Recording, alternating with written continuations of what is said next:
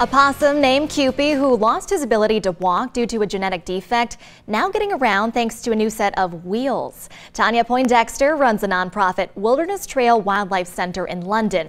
That's a wildlife rescue, rehab, release, and education service. She was actually featured as one of our ABC 36 hometown heroes. Her year and a half old possum cannot survive in the wild because of his severe scoliosis and arthritis. So Cupie travels with her to schools and educational trips as an ambassador. That is, until his health problems got so bad he could no longer support his weight. Well, Walkin' Pets, a pet mobility company, came to the rescue, providing Cupie there with a personalized wheelchair.